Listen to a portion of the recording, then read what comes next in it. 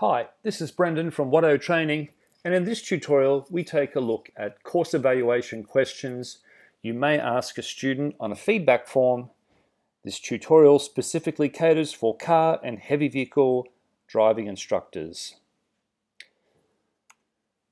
When you set out on a journey with a student um, to set up a training program, in a perfect world it would start at point A and go to point B. The road would be smooth and the challenges would be minimal. But in reality, this may be more what the training program is like, where there's challenges at every step of the way. And success is stumbling from failure to failure, but with no loss of enthusiasm.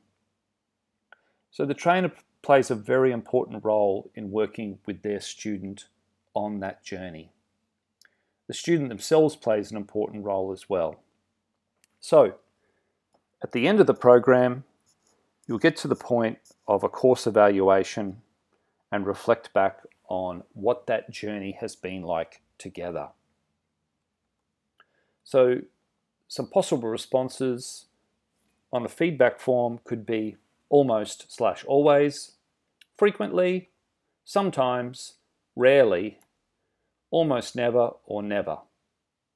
So if you keep those possible responses in mind as we go through each of the questions that a trainer might choose to ask for feedback from a student, then you'll have an idea of roughly where they might sit. It's interesting as well, you may have your own ideas and sometimes you get feedback from students and you realize that there are some contextual factors that may come into the situation as well. Question one, the instructor was well prepared for lessons. So the instructor had a good idea on where they were going, what needed to be covered, and some, meth some, some method about the way they went to things that really connected with the student. Question number two, the instructor showed an interest in helping me learn new skills. So learner-centered approach. The trainer knows what training plan and what curriculum they need to follow, but at the heart of that is assessing the learner's knowledge, skill, and ability at each step of the way, building upon strengths, focusing on areas that need improvement, and facilitating that improvement. Also, managing any physical challenges along the way, such as poor weather, and also managing any emotional challenges along the way. You may have a learner who suffers from self-doubt or anxiety or nerves, etc. Number three, the trainer was polite, courteous, and respectful. Number four, the trainer made me feel safe and supported. Number five, I received useful feedback on my driving performance during lessons. This is one of the critical factors that sets trainers apart in terms of level of skill, in terms of managing their learner and progressing the learner through their training program. I put a high emphasis on trainer feedback to a learner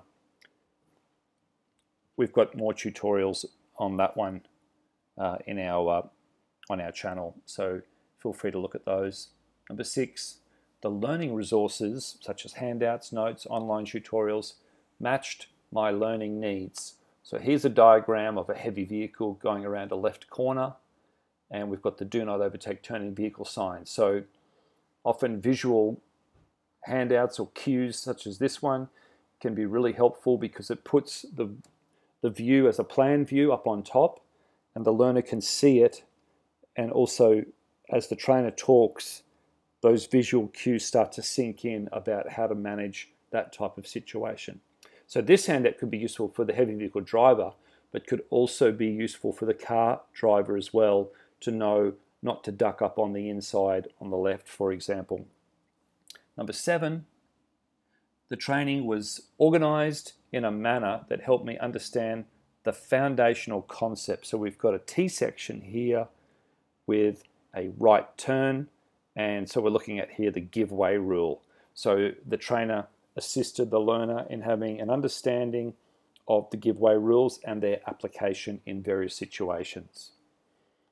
Now that leads to higher order situations. So question eight, the basic training gave me the confidence to drive in more complex driving environments armed with the knowledge, sorry, with the necessary knowledge and skills. So we've got a situation here where we've got a blue car and it is taking a right turn at the traffic lights, which are a green circle. There's no turning arrows, so the give way rule needs to be correctly applied in this situation. Question 9. I believe that what I was taught by the trainer was important for the test as well as everyday driving. So the trainer is operating on a number of levels. There is generally an expectation that when there's professional tuition involved, that the learner will be getting prepared for that test experience, but also in the broader sense for everyday driving.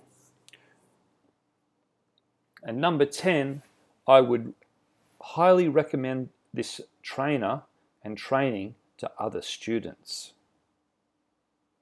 Referrals are very important in driver training, important in all business, but um, that's a really good sign of, of how a trainer is going in terms of their impact on the learner and the fact that they will refer them on to their uh, friends and family and so on.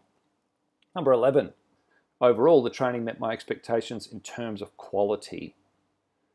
So there's usually an expectation of what will be covered, how it will be covered, when, where, and who it will be covered by. So the trainer needs to balance those expectations with the financial part of it as well to deliver the service within those frames of reference. Thanks for watching. This has been Brendan from Watto Training.